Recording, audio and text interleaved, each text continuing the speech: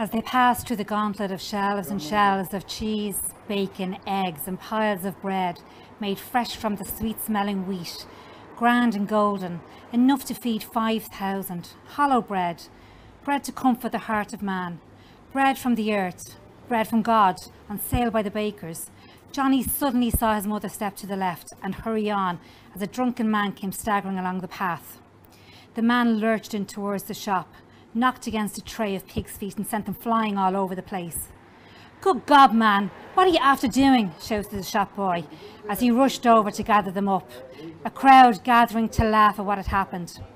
Like lightning, Johnny slid a lump of bacon into the folds of his kit bag and snatched up an egg as he passed by, running like hell to catch up with his mother, who was a little ahead.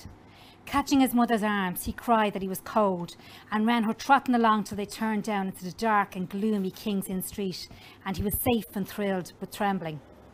Through Liffey Street they went, a street of old furniture shops, all shuttered close now. The street deserted, save for an old straggler trudging over the straw and sodden paper that littered path and road.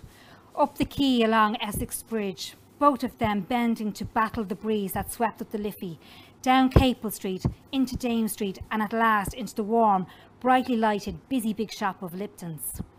Johnny paused for a moment to look at himself in the huge mirrors panelling the walls just inside the great door, showing him and his mother as lean, skinny-looking gazebos entering the shop. They'll show us up fat as fools going out, said his mother, laughing. The shop was crowded, full of white-coated counter-jumpers, handing out tea and sugar and margarine as swift as hands could lay hold on them with men in brown overalls trotting along, pushing mounts of the tea and sugar into packages onto little trolleys, moving silently and cunningly through the crowded shop to fill up the vacancies on the shelves. They waited their turn to get their seven pounds of sugar, a pound of tea for one and six, and a two pound of Lipton special plum and apple jam. Johnny packing them into the kit bag while his mother slowly and feelingly put back sixpence change into the pocket of her skirt, strengthened with added lining to keep such treasures safe. Well, that'll have to provide us with whatever we may need for the rest of the week, she murmured, letting the sixpence go at last when she felt it settle into the bottom of the pocket. Johnny swung the kit bag over his shoulder, and he and his man manoeuvred through the door, through the people thronging the shop, pausing to see themselves in the mirrors, looking like fat pigs, bulging cheeks, great round bellies, and enormous bodies, showing how great the stuff was that Lipton sold.